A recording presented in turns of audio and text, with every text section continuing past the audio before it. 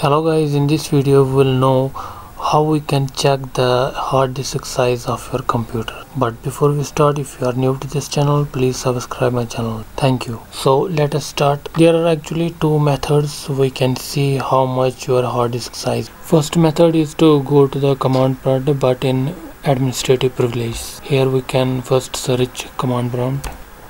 And here you can right click on command prompt and run as an administrator. Now you can use the command diskpart and click enter. Here you can use another command that is list disk. Click enter.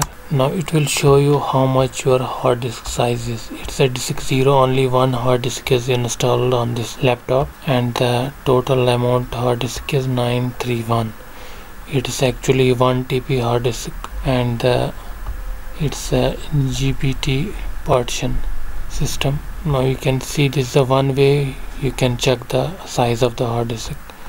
Now second way is go to the my computer. Here you can see that this PC and right click on it and then click manage. And here you can see disk management. Click on it. And here you can see it shows the disk 0 that is the same size which we have seen in command prompt. That is 931 GB it's approximate 1 TB it's 1 TB hard disk actually.